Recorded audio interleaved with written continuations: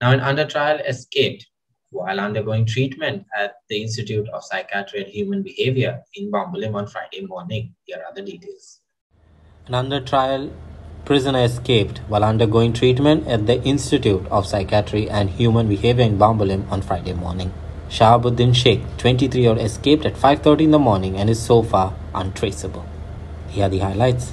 An under trial prisoner who was undergoing treatment at the Institute of Psychiatry and Human Behavior escaped from the hospital on Friday morning. Police sources stated that Shahabuddin Shaikh, 23 year old, was undergoing treatment at IPHB Bambolim. He escaped from the custody at 5.30 in the morning on Friday. The under trial is originally from Shelde Kurchore and was currently in judicial lockup.